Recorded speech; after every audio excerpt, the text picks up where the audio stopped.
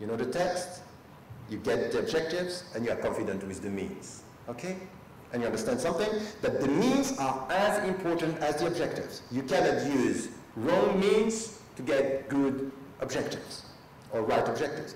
The right, the means are in fact per se objectives. So you need right means to get right objectives, and you need for that to know the text, to understand the objectives, and to be confident with the means.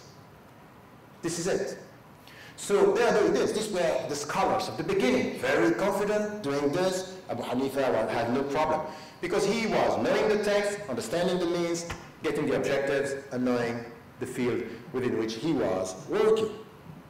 This is what we have to do. When it comes now to the objectives, we extract from the objectives, and, and this is where the Muslim scholars, the fuqaha, the jurists, when they are dealing as men with a society, they try to find, as I told you, the limit and the functions. And say, okay, this is a specific field, but before coming to that field, we have to go upstream to ask what is the main objective for a woman to be a woman as a human being.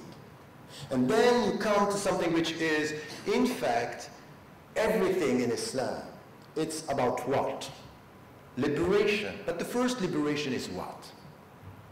The deepest and the most essential liberation is what? Is to liberate yourself from the society? No. It's to liberate yourself from yourself. The first liberation is ego. Is to liberate, and never forget that. Because this is the starting point of everything. You speak about freedom, come. Tell me your definition of freedom and I will know where you are. If freedom is to do what you want, that's fine. But I have a question before you tell me what you want. Are you sure that what you want is what you want? Are you sure? Because people are playing your psychology. They can make you think that you want what you want, but they want you to want what exactly they want. Don't laugh. It's our life. This is life. This is it. When the people, you know, we speak about being brainwashed, in Palestine, for example, why? Because we know the power of the media. The media can change your mind and you think, oh yes, it's obvious. They are equal and I'm against the oppressors and the oppressed and they are all the same. I'm against both. So you end up thinking exactly like the people are thinking. You go to the suburbs and some uh, people say, yes, I'm against the system. And you look at them and say, it's strange, you're against the system. You're all dressed the same way. So in fact, the system is using you to think that you are against the system, and at the end, you pay because you are part of the market. The market is colonizing you when you think that you are freeing yourself.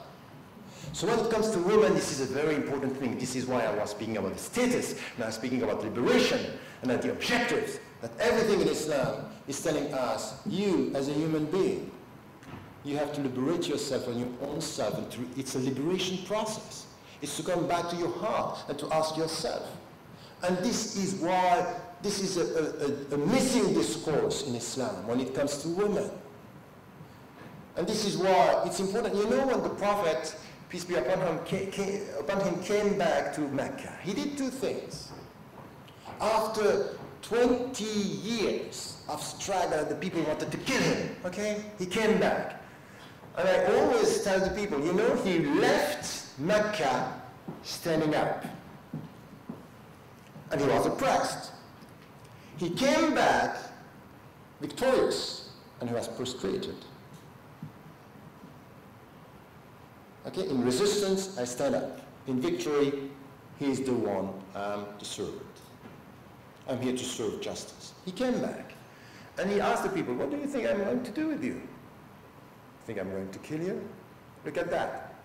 And he said, اذهبوا أنتم الطلقاء you are free go you are free first social liberation political liberation good what is the second act you did understand that the most important thing was not your freedom now he went to the Kaaba and he destroyed all the idols for someone who is coming from a spiritual take understanding what does it mean I say, be careful. The true liberation is not the social liberation. The true liberation is in the Kaaba these idols.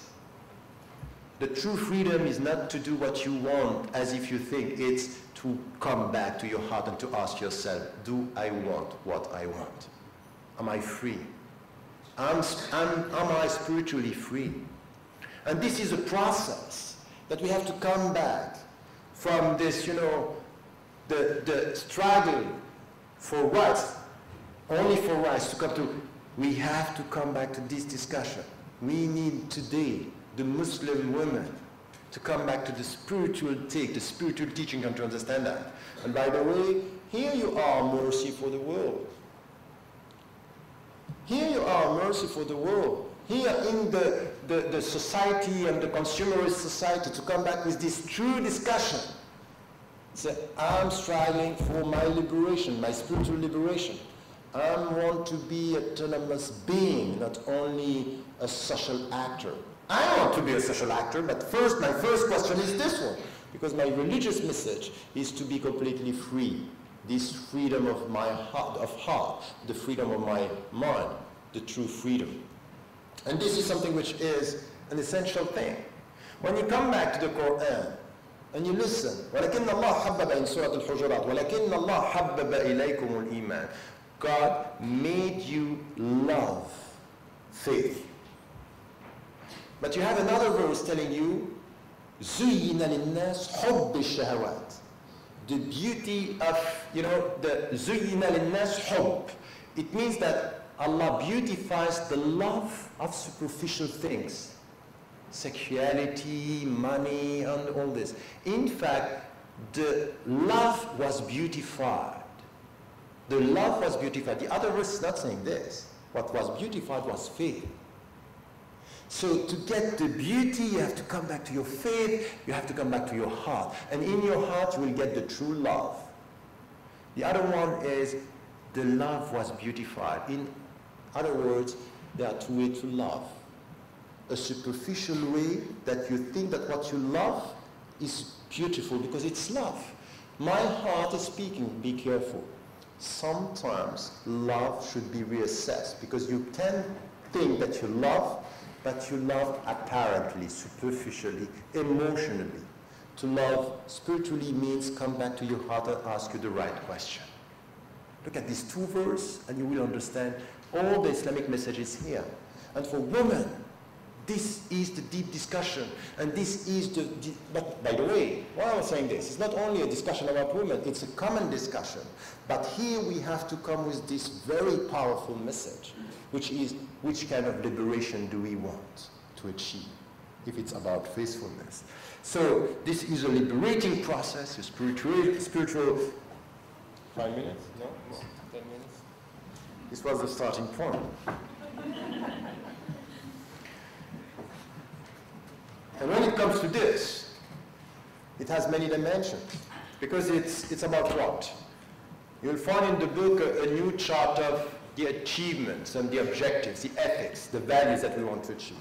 It's about stability, balance, inner life, well-being, development, inner development, all this, these are, these were not in what the scholars were talking about in the past. They were talking about the six, and you will see all the scholars are coming. You know, in Islam you have six principles to protect the deen, wal aql, wal. You have this from the scholars of the past. The Shatibi came with this by saying what we have to protect is we have to protect our religion, our personal integrity, our minds, our money, our families. That's fine. This was the path. But today we, have, we are in a very complex world. It's much more complex. And in the 14th century, Ibn Taymiyyah had this intuition, it's not enough. We need more of these objectives. We need also the objective of the heart. We need to achieve something in our heart. In our society now, with this psychological pressure, this consumerist society, we have to come with a very strong discourse. What do you want to achieve as a woman? Where is your freedom?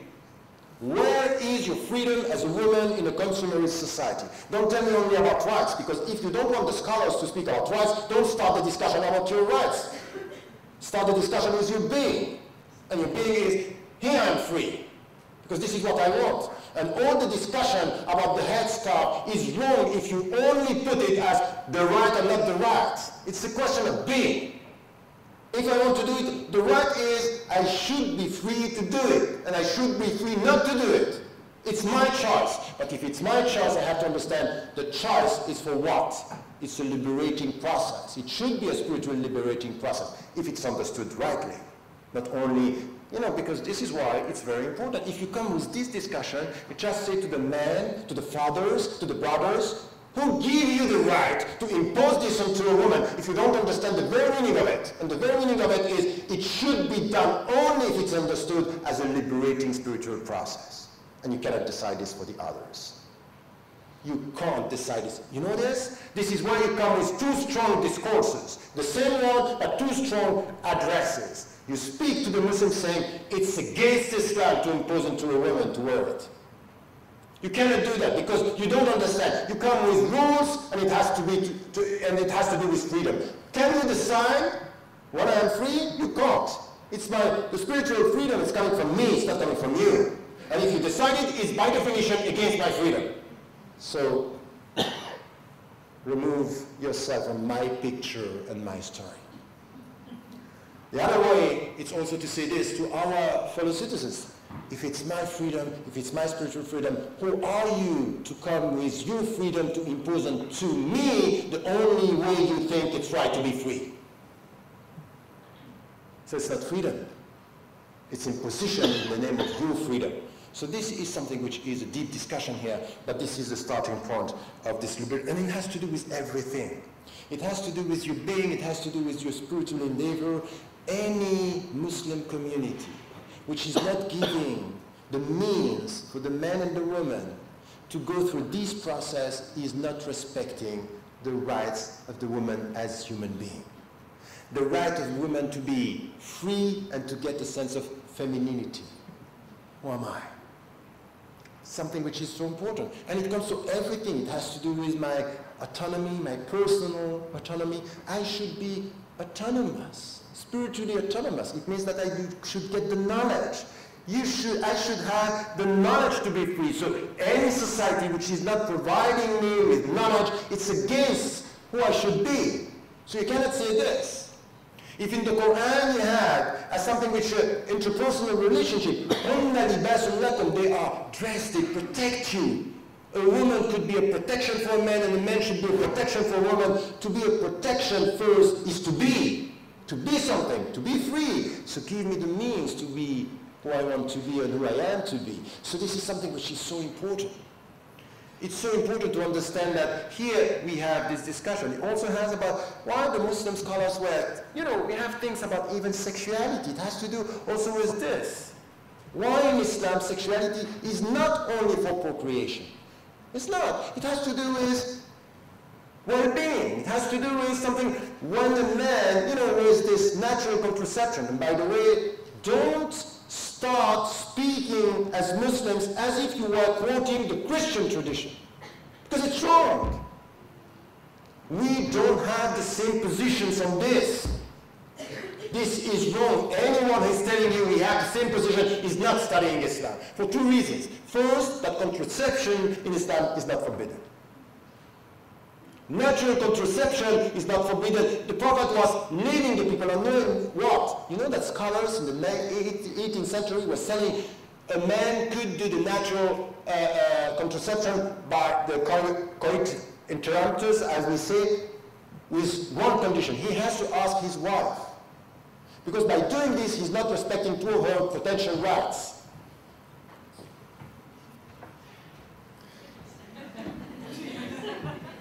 Uh, the first one is to get uh, uh, a child, and the second one is pleasure, saying that in this relationship, sexuality is not only about a mean to achieve something else, it's an end per se. This is Islamic, but the Muslims don't know the religion. They don't study. And then about abortion. Yes, the general rule is to say we are not going to promote it, we are against it. But there is something in Islam which is the fatwa. What is a fatwa?